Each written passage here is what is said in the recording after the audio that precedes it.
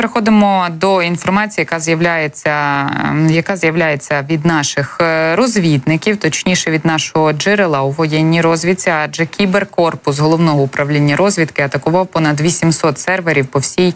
Росії кіберфахівці цього відомства атакували понад 800 серверів з 23 по 26 вересня і знищили документи та дані, які зберігалися на них. Атака спричинила частково або повну зупинку роботи військових, адміністративних та фінансових установ, які підтримують агресію проти України, і продемонструвала низький рівень технічного забезпечення Російської Федерації.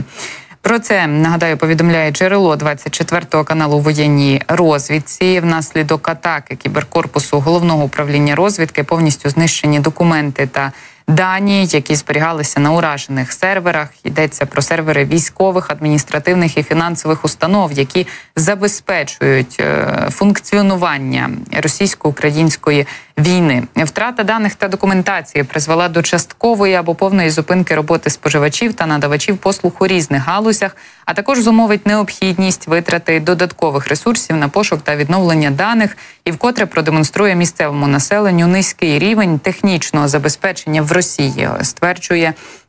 Наше джерело зараз на екрані. Ми також можемо з вами е, бачити наслідки цієї атаки.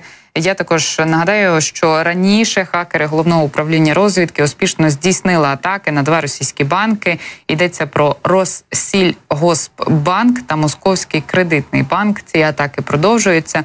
Розвідники про них повідомляють дуже і дуже часто. Ну і це також важливий аспект тієї боротьби проти окупантів, тієї боротьби проти російських загарбників. Адже ми з вами знаємо, що ця війна залишається гібридною. У ній є дуже багато складових. Звісно, конвенційний він найбільш загрозливий і найбільш ем, важливий станом на зараз відбиватися від супротивника у військовому плані, але бачимо, що продовжують працювати і кіберфахівці, позбавляючи важливих документів нашого агресора. Ну е, будемо пильнувати за їхньою роботою. і Сподіваємося, що це направду трохи зруйнує плани окупантів. Бо ж бачите, таким чином і діє Україна, допоки ми не маємо із того дозвілу на далекобійні удари в глиб е, Російської Федерації саме західною зброєю Україна продовжує використовувати власні розробки для того, аби атакувати військові об'єкти Російської Федерації. Ми знаємо, що минулий тиждень він був. Вибуховим для окупантів горіло і в Тихорецьку, і в е, так званому Торопці.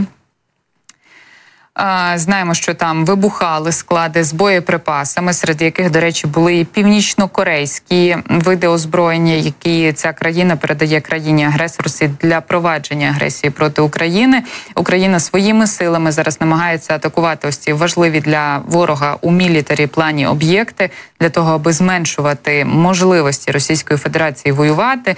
Звісно, у довгостроковій перспективі це дуже і дуже важливо. Можливо, на оперативну ситуацію воно впливає не так, як нам би хотілося, і не маємо ось тієї тиші, так тиші, коли ми знаємо, що цієї ночі на Україну не летять ракети, не летять каби. Але ми розуміємо, що Україна, українські сили оборони зараз роблять усе можливе для того, аби відбиватися від загарбників навіть тими засобами, які є в нашому арсеналі, в арсеналі українських сил оборони станом на зараз. Ну і так само і з кіберпростором. Бачите, до нього наші західні союзники ставляться дуже і дуже обачно, дуже і дуже бояться ось тих атак, які можуть надходити від е, окупантів саме на їхні якісь критичні.